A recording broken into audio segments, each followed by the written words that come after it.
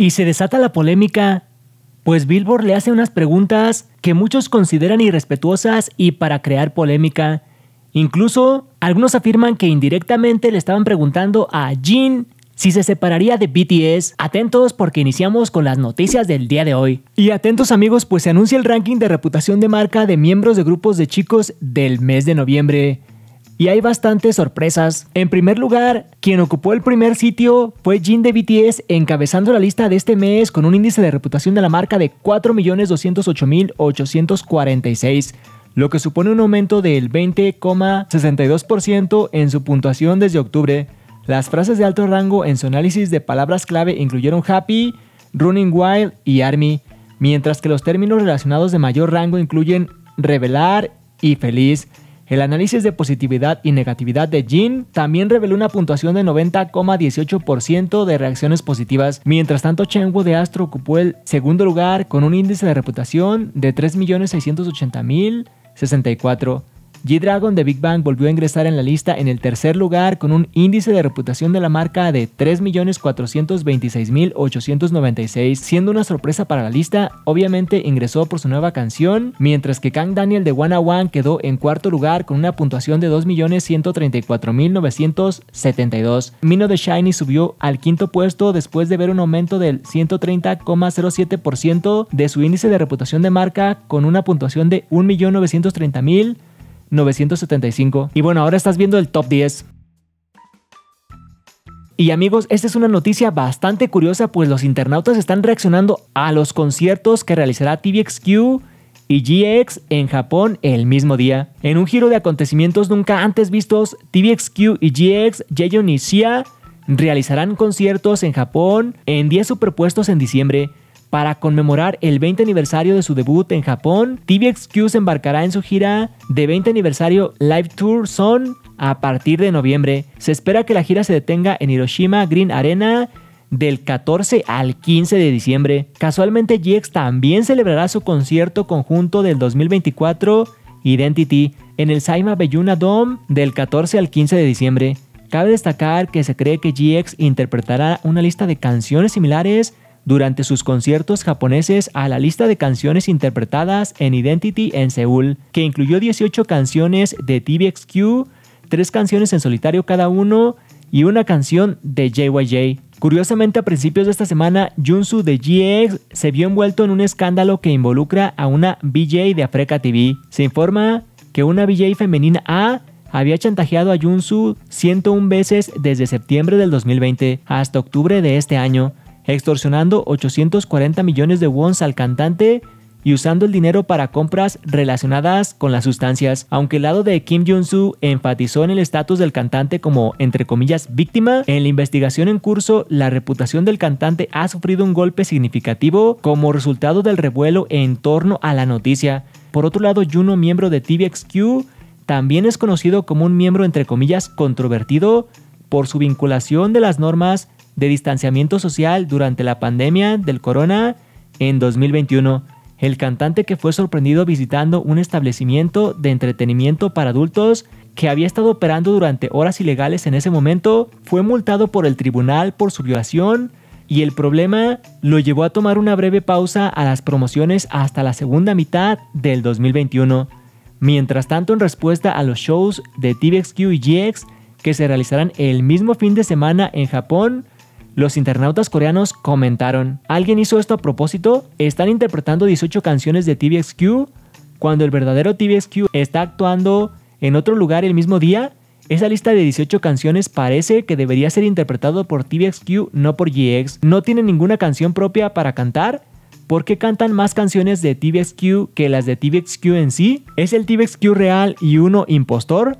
¿Está bien que celebren un concierto para su 20 aniversario y miren atrás en sus carreras, pero tratar a TVXQ como un grupo en la historia cuando los miembros todavía están promocionando activamente es un poco raro. Solo estuvieron unos 6 años en TVXQ y tuvieron carreras solistas exitosas desde entonces hasta ahora, ¿verdad? Entonces, ¿dónde están todas esas canciones solistas exitosas? No puedes evitar percibir el concierto de GX y la lista de canciones como un desafío para SM y los miembros actuales de TVXQ. Ambos tienen miembros problemáticos. pero ambos están promocionando muy bien, entre otros comentarios. Pero bueno, ¿tú qué opinas acerca de todo esto? Sin duda es una noticia bastante extraña, divertida también.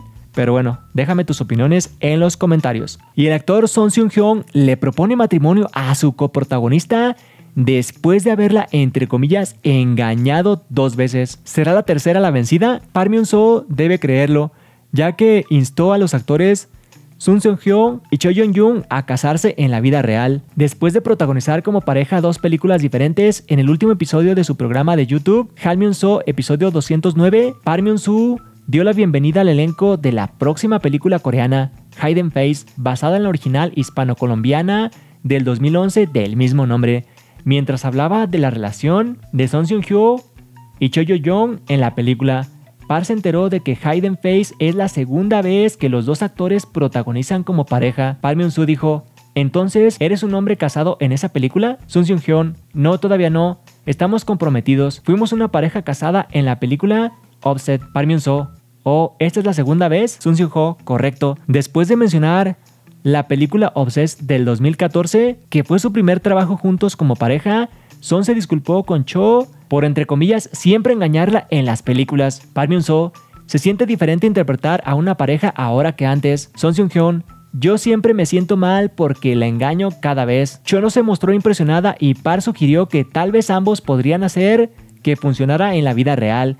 Luego en una respuesta sorprendente, Sung se volvió hacia Cho y le preguntó si los dos realmente deberían intentarlo. Park Myung-soo, ¿no puedes casarte de verdad? Ya que ya han estado dos veces juntos. Cho Yeon-jong, vaya, nunca había escuchado eso antes. Park Myung-soo, ambos están haciendo viejos y han estado juntos dos veces. Bien podrían. Sun Seung-ho, deberíamos intentarlo y ver. Chon Yeon-jo se ríe. Todo fue dicho y hecho con humor, pero los fanáticos no pueden evitar simpatizar con esta pareja visualmente poderosa. Pero bueno, ¿tú qué opinas acerca de todos estos comentarios? Y muchas personas están criticando a Billboard por hacerle esta pregunta a Jin.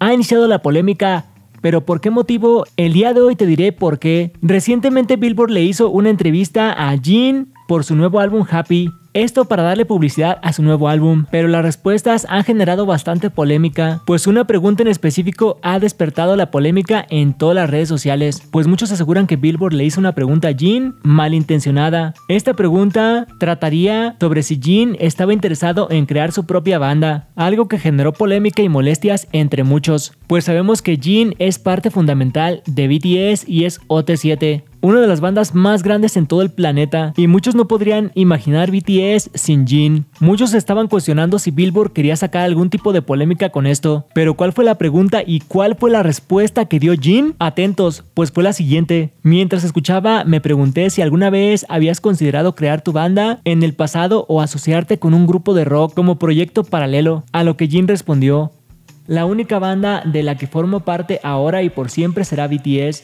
la música de banda es un género que me interesa personalmente y disfruto explorar diferentes estilos como solista, pero al final del día mis raíces y mi conexión con la música siempre estarán con BTS. Y bueno, esta fue la respuesta que dio Jin para Billboard. Una pregunta que sonó, o por lo menos muchos dijeron que esta pregunta sonó como que Billboard quería hacer algún tipo de polémica o tal vez crear algún tipo de conflicto, sobre todo por la manera tan firme en la que respondió Jin diciendo que BTS es la única banda de la que formará parte, como si Jin hubiera sabido que esto era una pregunta con trampa o algún tipo de sarcasmo, e incluso muchos dijeron que querían sembrar la duda sobre el futuro de BTS. Recordemos que han habido múltiples controversias en cuanto a Hype se refiere, por eso muchos están asegurando que Billboard quería generar algún tipo de controversia sobre el futuro de la banda. Pero Jin fue bastante contundente con su respuesta y dijo que estará ahora y siempre con BTS, aunque sabemos que nada es seguro, esperemos que tengamos BTS para rato, pues recordemos que suelen haber muchos conflictos entre grupos, entre agencias y entre muchas otras cosas que generan conflicto. Pero esperemos los chicos de BTS sigan estando juntos por mucho más. Si quieren leer la entrevista completa, está en la revista de Billboard. Pero dime tú qué opinas sobre todo esto en los comentarios. Y bueno, esto ha sido todo por este video. Espero que les haya gustado. Dale like, comparte, comenta, activa las notificaciones y nos vemos en el próximo video. ¡Añón!